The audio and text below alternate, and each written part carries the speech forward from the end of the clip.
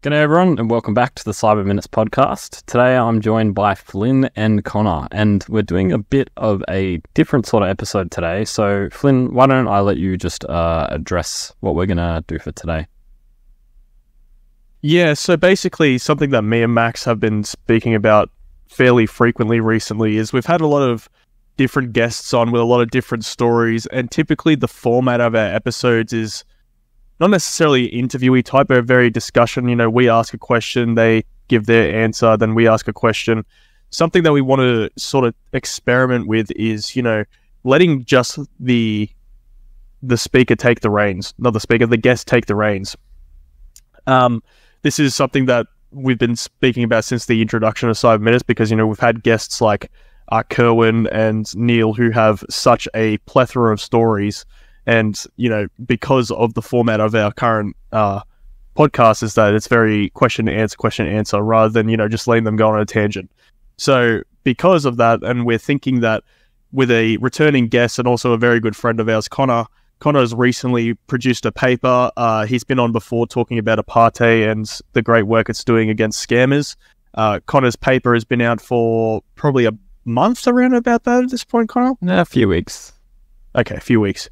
Um, but yeah, so we're going to test it with this week with Conor, um, and then we're also going to just do a bit of question and answer at the end. Um, so Conor, why don't you take it away? Tell us about your paper. Yeah, thanks for having me, guys. It's great to be back. Um, I got my paper here. Um, if you want to look it up on the internet, you can search uh, ConvoCache, one word. Uh, its the full title is ConvoCache colon smart reuse of chatbot responses, and that's basically what I do in this. And it'll So be the in the description as well. So yeah, Yeah, we'll, we'll Yeah, so- the description. That'd be great. Yeah. The idea about the paper is pretty simple. If you have a GPT language model that's really big, bit expensive to use, maybe you also have voice synthesis after to make it talk in audio, um, it can be expensive to use. And you can use it for answering questions or a variety of tasks. But if you have a very large scale, then you're probably going to have a lot of requests that are very similar. And in computing, there's this thing where you can use a cache to fix redundancy. And normally, if you have, say, for example, accessing memory uh, multiple times, then you're accessing redundant information. So you can use a cache to make that faster because you're doing the same access multiple times. But then there's also different types of redundancy. So, for example, there's fuzzy redundancy where it's kind of similar but not quite. Like if you're accessing variables in a list, for example, um, that's nearby. And semantic redu- redundancy. So, semantic redundancy is when the request is different. It might be, for example, GPT request, it's a different string, different sentences, but the meaning's kind of the same thing. Like you could ask, what time is it? And you could ask, what time is it now? Those two things say the same thing. And the answer would be the same. So it's redundant to process both requests. And basically, what we do in this paper is we scale up that idea of solving semantic redundancy with a cache and scale it up to a larger, more complicated model where we have GPT responding not in question answering like other papers have done, but in conversation, hence the ConvoCache. And the way we do that semantic redundancy, because it's a bit of a difficult task, is just simple small language models. Before GPT came out, before all these large language models became so popular, I mean, we had RoBERTa, but um, all these little small models around around 2018, 2019 um, that actually do really good language processing. And they're really small. You can run it on your computer very easily, very quickly. Don't even need a GPU. And you can do these similarities uh, measurements very easily. Um, yeah, that's pretty much how the paper goes. Awesome. That sounds really, really cool. So it's it's if I was just to sort of dumb it down a little bit, what it is is it's taking requests that are similar and uh, processing them uh, in the same way, so that there's not extra time or extra money being used to process two very similar questions. That's exactly it. Awesome. And the way we do that is with these little models. And uh, what these language models let you do is you take an input of some text, some uh, message, a few sentences, some question, any any text, but preferably not too long, and you put it through this encoder, and then at the output you have a vector, Mm. a fancy maths term for like a point in space. Like if you have, say, on a on the planet you have coordinates. It's your kind of your x y position or your longitude and your latitude. And if you have those two numbers, then you can say where you are on the globe. And if those two numbers are similar, then you're in a very similar place, and those two places are close to each other. Maybe one number is similar, but the other number is not very similar, or then they're actually really far away. So you can't just look at um, each number and see if they're close. You have to look at the whole thing. Um, but it represents a point. And when you encode text with a encoder model, for example, we use um, a few fine-tuned models, but they're based on RoBERTa, which is similar to BERT, but Facebook. And the output of that is a vector. It's got more than two dimensions. It's actually thousand or so dimensions. Um, but it's just the same thing. It's a point in space. And if you have two vectors, then you can see how close they are. You could measure the distance between them. Mm. It's a complicated line, but it's a straight line uh, in Right. higher dimensions. One thing I'd be curious about. So you mentioned that you did it specific, specifically with RoBERTa. How, I suppose, scalable is a solution like this? Can you do? Can this be applied to many different models, or is this something that's currently got a sp- very specific use case? Um, yeah, basically, how do you see this being used in um, the industry in the future? Well, there's a lot of models that do this sort of task, and the task is normally called uh, semantic similarity or semantic textual similarity, STS. And the idea is if you have a bunch of text, um, sentences, utterances, questions, uh, you want th- this task is about um, encoding them into vectors such that similar messages are grouped together and dissimilar messages are not close to each other so that you can then encode any new message and see what it's similar to um, and also measure that similarity. And that's exactly how these models are actually trained. They're trained with dummy text or text that's been labeled as two things that are similar and maybe a third thing that's different. Or maybe they pick a random thing and assume that they're different. And they just say, do whatever it takes to put these things close to each other and learn how to do that. Mm. And they get better. So these these models are actually very small. Like I said, uh, in terms of GPU memory usage, they're a couple gigabytes. So pretty much any any gaming GPU can do that. Not the fancy new ones, but Hmm. Pretty much anything you've ever owned can do this. And you can even do this on just a CPU. It on a GPU like we had, um, it took a few tens of milliseconds. On a CPU, it will take a little bit longer, but in the end, you can very feasibly encode a single text and get a vector out. And in terms of scale, um, ConvoCache really benefits from scale because I haven't got to it yet, but um, we build this big database with every text that we've seen, Mm. and we have all the vectors for those texts. Yep. And then for each new text that we get, we compare it with all the other vectors to find the most similar. And that's how we know which response to reuse. So we have a bunch of requests and we generate responses for those requests. And when a new request comes in, we haven't generated a response yet.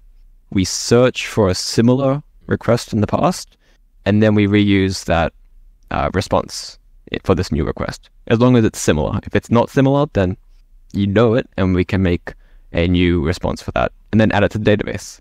So in terms of scale, um, you might think that checking the distance between every vector in a database with millions, maybe billions of previous utterances will be slow. But there's a couple really cool things that other people much smarter than me have uh, figured out how to do that. So one of the first things is, um, like I said, these vectors are kind of like points in space, and you can measure the similarity as the distance between them. But there's actually a different thing you can do. So instead of measuring the distance between them directly in a straight line, because if you have a thousand dimensions instead of just two dimensions, it actually takes a long time to compute that. There's a, a lot of square roots, um, which are slow. So instead, we can measure the angle between them, which is a bit of a weird idea. But if you imagine back to maths and geometry, if you have the origin point and you have a, a graph with two points, you can imagine uh, taking a line from the origin point, the zero point, and then drawing it to one of your points, and then another line to the other point, and then measuring the angle between those two points. And if those two points are, they might be different distances from the uh, origin, Mm. and that will actually not be encoded in this measurement. Um, but the angle between them is kind of like the similarity or the distance between them. If they were in opposite sides of the origin, then they'd be as far apart as they could be um, by this measurement. And if they were, the angle was very small, then they're probably going to be quite close. And there's another step with this.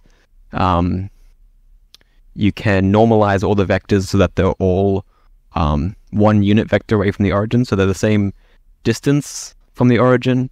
And then you can measure the distance or the angle between them extremely quickly. It's a couple multiplications, which a computer can do super fast. Yep.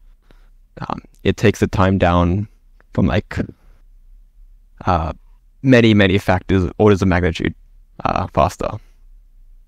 Yeah. So we can scale up with all those. We have a faster similarity measurement, and we actually train the models on this measurement instead of the a straight line distance, which is known as the Euclidean distance. Hmm. Um, but instead, we use the angle between them, which is either called the inner product, because that's how you calculate it. It's very fast. Uh, the products between them, or uh, the cosine similarity, which is like the inner product, but only if they're the same distance. Complications that aren't important, but it's a measurement of how similar the two vectors are. We train it on that, and it's much faster to compute, especially for these high dimensional vectors. I'm sure any of our computer science students know all about uh, Euler. Um, Eulers. yeah, Euler, Euler. There was a funny inside joke Conor, Max, and I had in uni. but um, just to give the audience a bit of a real world, world perspective, how would you say this um, benefits Apate? So Apate, we spoke in a previous episode about how um, you know we talk to scammers and how it's basically wasting scammers' time. How does the ConvoCache solution that you've presented, how does that benefit Apate? Yeah, so Apate's main goal is to scale as big as we can. Um, we also have another important consideration, which is how fast we can respond. Uh, so Apate is talking to scammers um, with uh, like a, a GPT to make responses and then a voice synthesis to make it talk back to the scammers. And hopefully the scammers don't realize they're talking to a bot and they can have their time wasted. Hmm. So the important thing is that we have really good quality bots. The voice needs to sound great. The the uh, actual response text has to make sense. Uh, We have uh, some other smart decision making that we have to do, um, but it has to be good quality. But good quality comes at a cost. So GPT 3.5 is okay. GPT 4 is better, but it's much more expensive. But it's better, so we want to use the best model that we can. Um, same with voice. Voice is extremely expensive, kind of because there's not many options at the moment that are good enough. Um, so they're just charging a bunch of money, but it's expensive, and no matter what, it's going to be a bit too expensive for our use case. The other thing is we need speed. So if we use these more complicated models like GPT-4, um, compared to maybe say a llama with seven billion parameters, and we're using GPT with a hundred something billion parameters, Hmm. it takes longer to make that response, even on equal hardware. And if you get bigger hardware, it's going to be more expensive again, just to make it faster. So, um, we're roughly hitting one or two seconds of latency, um, somewhere in that region. I can't say exactly, but it's around that. That's what I've written in the paper. So we're trying to cut that down, and there's some other great research um, from Interspeech, which is the same conference that this has been published, my paper, um, which I, I love, by the way. And uh, they looked at humans talking to each other, and they found that humans typically respond in about uh, 0.1 to 0.3 seconds. So 300 milliseconds is the goal, and we're not near that yet. And then they also looked at they got humans to um, to place responses with a delay from a previous response. So someone was talking, then another person um, was talking as a response, Mm. and they were asked to place it in time. They asked to place it um, as naturally as they could, and then as late as they could without being unnatural Mm. of a pause. Um, and they found that the limit that people typically like is around half a second, and they can kind of, uh, kind of, it's okay if it's up to one second, but beyond one second, no one likes it. Everyone thinks it's unnatural. Um, so that's a, a great research, and it's super useful, and it gives us the goal of being about half a second. Yes. So do you, so at the moment, Conor, do you have any stats on how ConvoCache or like any statistics on how much it improves by or how um how much better it is able to uh, process and you know spit out new new um new information compared to uh, the more I'll say traditional way of doing it? Yeah, so um, our main measurement, well, our two main measurements is going to be uh, saving money Mm. because Apate uh, isn't just in the market of talking to scammers, but talking to millions of scammers constantly because we need a scale so that we can have an impact.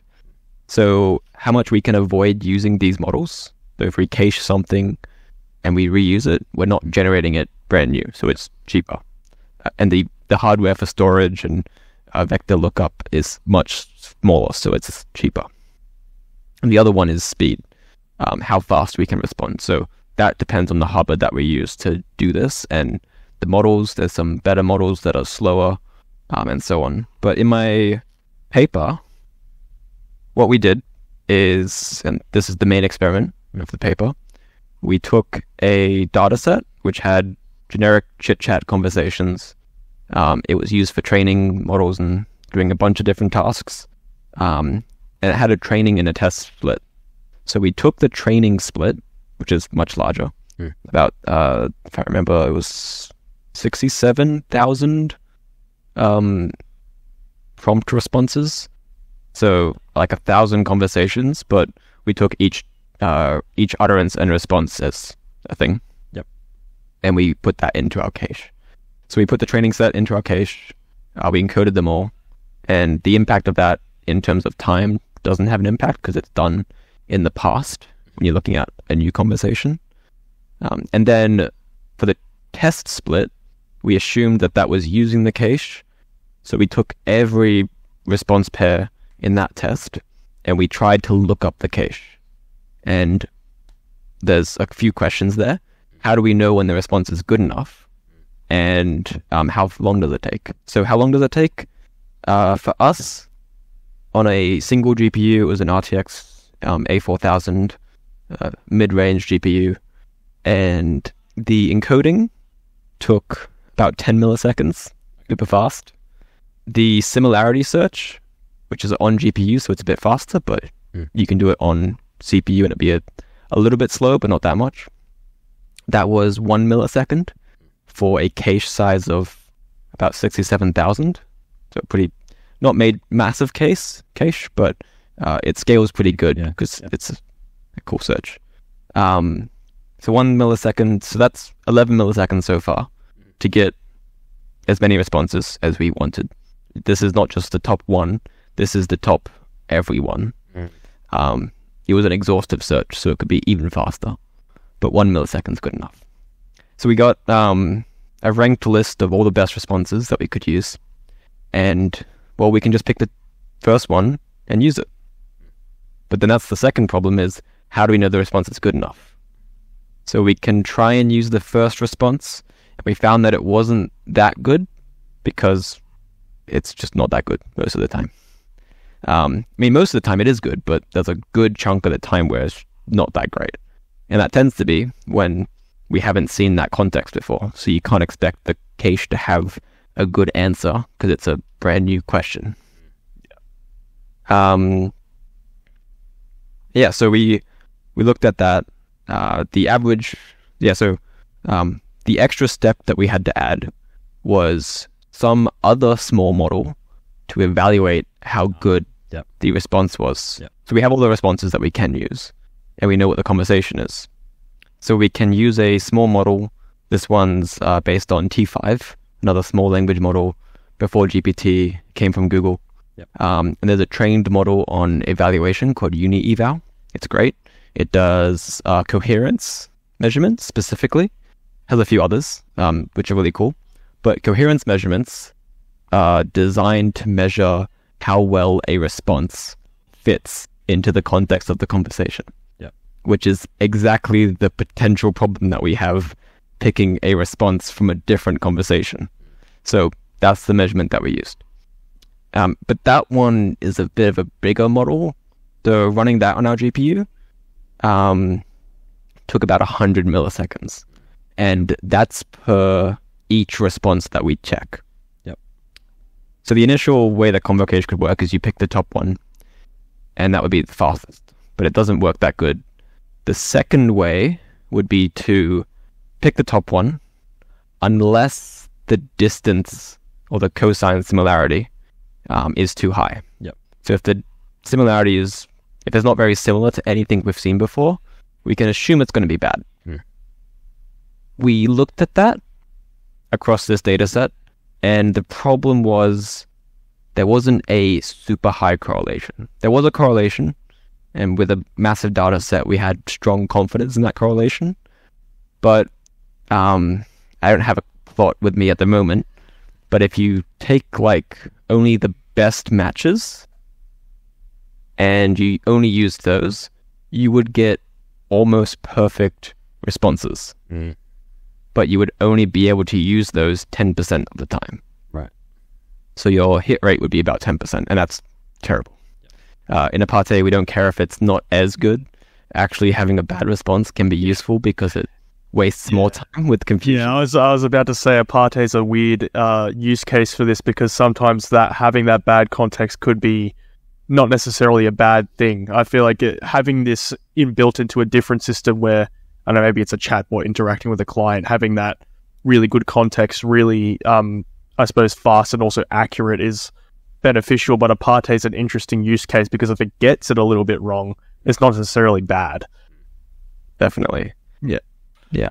And uh, just to get to the point where I get the results. So if you if you go for the second obvious solution, which is limiting the distance, then you only get about a hit rate of ten percent. Or you can get a higher hit rate, but you'll also get worse responses.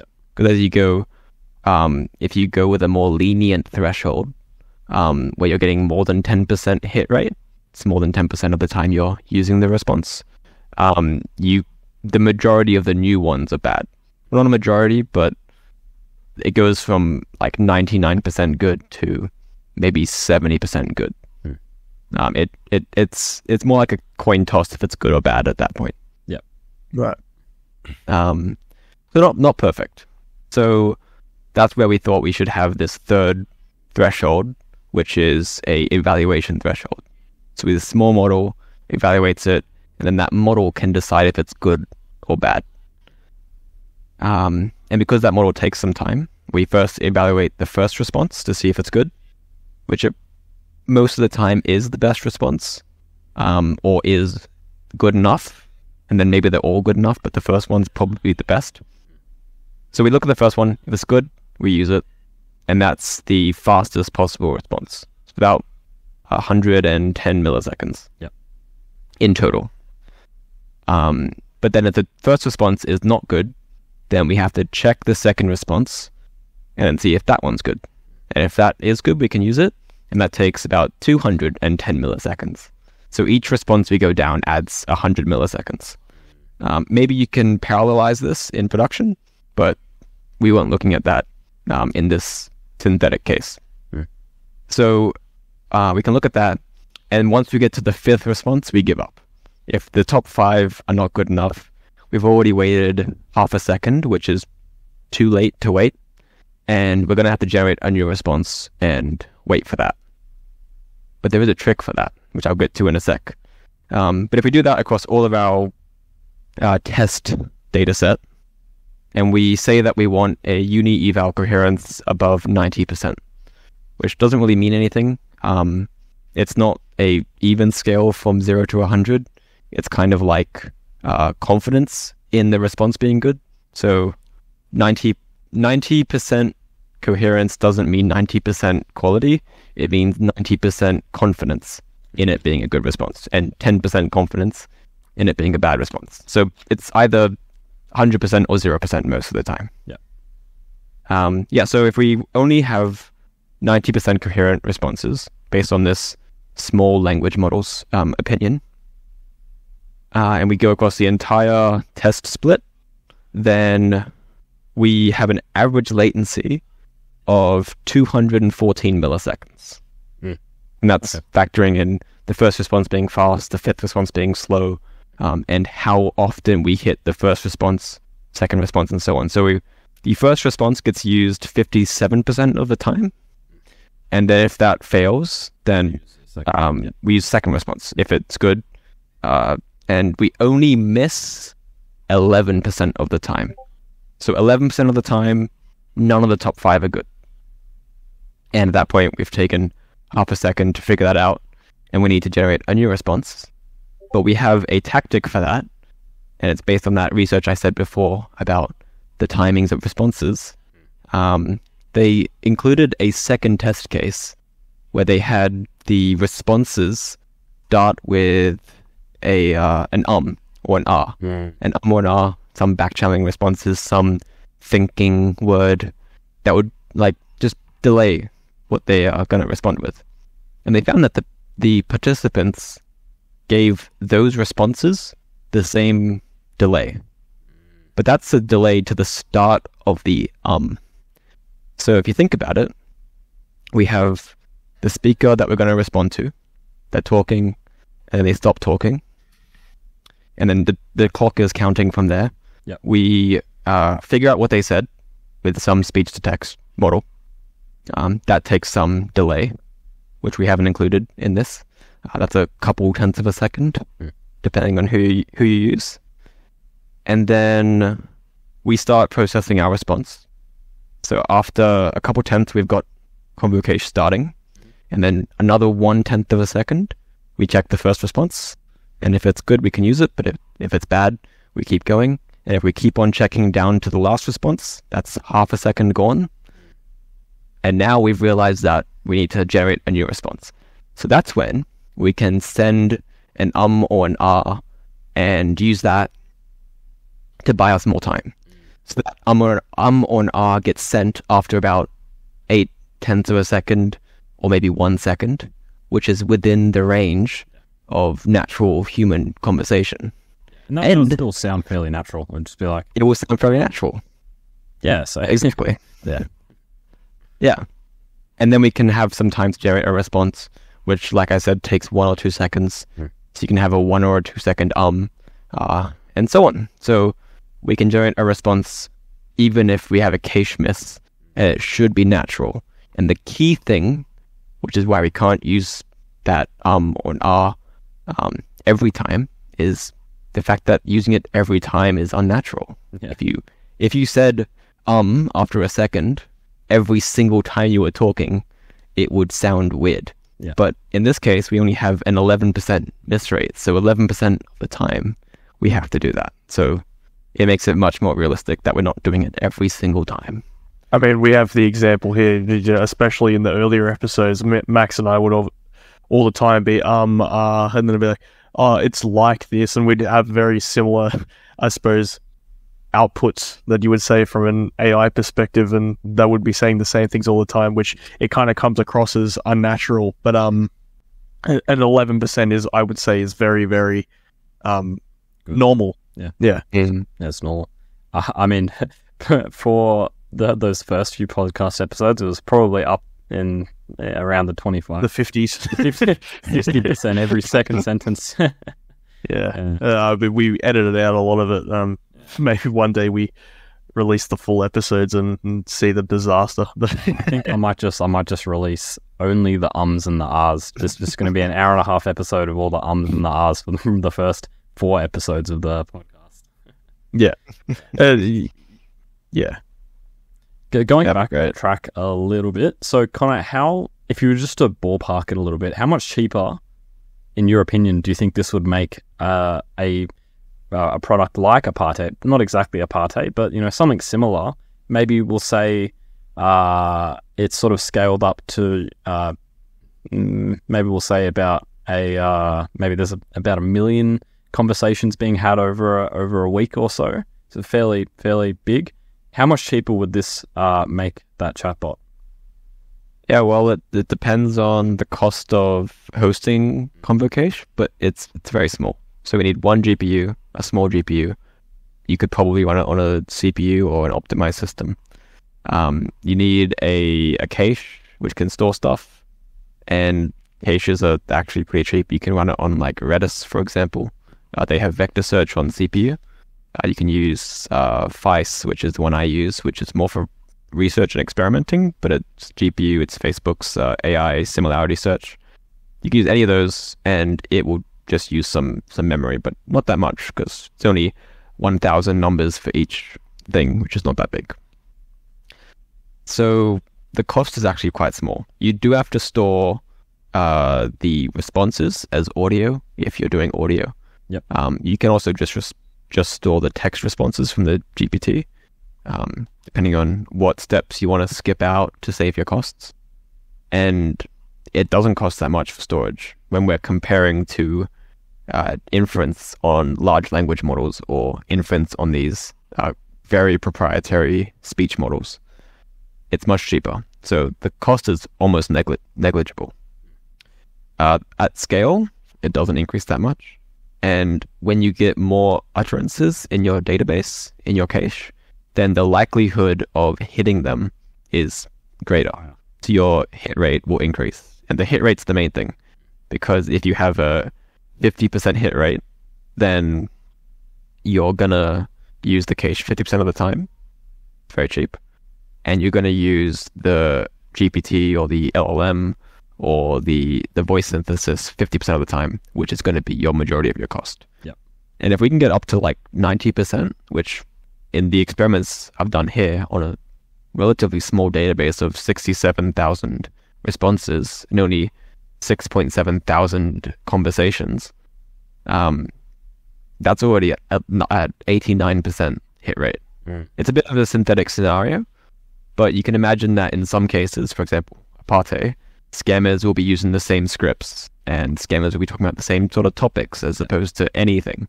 So it's gonna hit that cache a lot of the time. Mm. So it can get up to like a 90% savings Wow. because it's almost free when we use ConvoCache compared to how expensive these models are. yeah. Wow, that's incredible. Imagine walking into a, a big uh, a big company that you know has some product or some feature that's you know an AI, uh, either a you know voice to text or a uh, this this would work for like text to te- text as well, wouldn't it? Exactly. You can just It's- instead of it's generating a voice off at the end, Yeah. you just save the response. Yeah. Yeah. Well, uh, imagine presenting that and telling them that they're going to save ninety percent of their cost. You know, it'd be a bit, a bit of a bit of a no brainer there. Yeah. And that's an interesting point is how this can be used in, say, for example, other uh, use cases. Mm.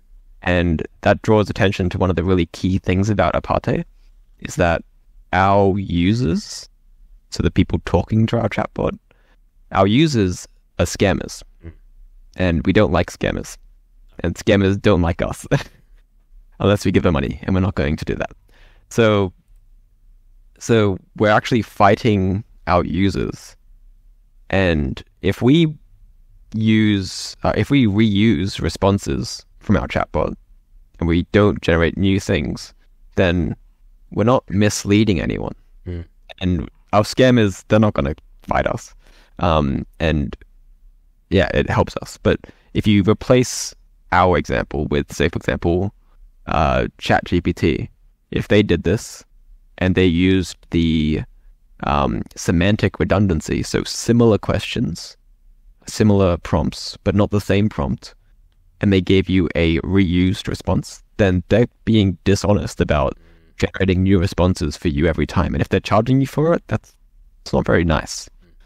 Um, but I mean, there's a lot of use cases, and there's other research in this topic where they've done question answering stuff. There's another one where it's um, voice assistants. It's another really good use case. Mhm. Uh, if you if you ask um, a voice assistant, I'm not going to name one. Uh, I don't want to set them off. Uh, but if you ask this assistant uh, for the weather, Mm. and you say it different ways, then the output's the same. Yep. So there's more specialized models that are doing semantic redundancy in those sorts of things because they also have to make sure that they're correct. They have to make sure that the two response, the two prompts, or the two questions, actually have the same entailment and the same exact answer, Mm. so they can give the same answer. Yep. Uh, whereas conversations are a bit more open domain. Uh, you can kind of respond to anything, and you kind of just have to get the the form of the question right and the topic of the conversation right. Um, so yeah, so Apate is a really good use case for it because we don't have to worry about misleading our users. We're fighting our users.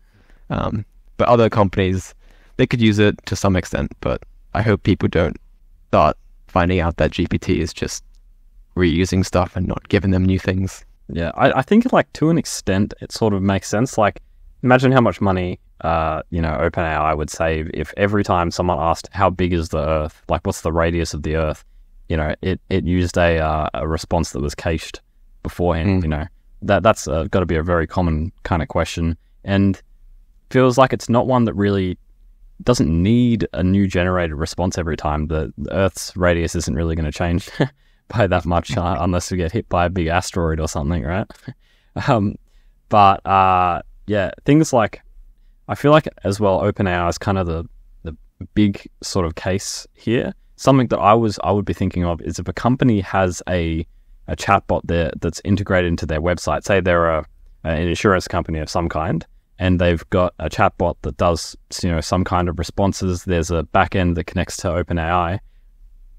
In that case, when they have customers that are typing in questions and it's giving them an intelligent response, that case I can see, you know, this being very useful. Imagine if you're uh, typing into a bot that wants to answer your questions and you're asking, "Hey, can I get a quote?" Can you imagine how many times that would be written into that chatbot? It would be, you know, almost every second uh, request would be, "Hey, can I, you know, what is my quote for this?" Yeah. Yeah, I, spo- I suppose that would be also a different use case as well because I don't think users would be typically upset that they're not getting a newly generated response. It'd be a similar thing to Apate where, you know, people, when you're getting claims, you, you're expecting to get the best claim. You don't want a new claim just because it's new. You want the you want the best claim you can possibly get. You'd like the precedent be set that this person got this claim. Um, so I feel like that'd actually be another good use case. Yeah, definitely. It could be used in those situations where the user isn't expecting a new thing to be generated and they're not paying for that.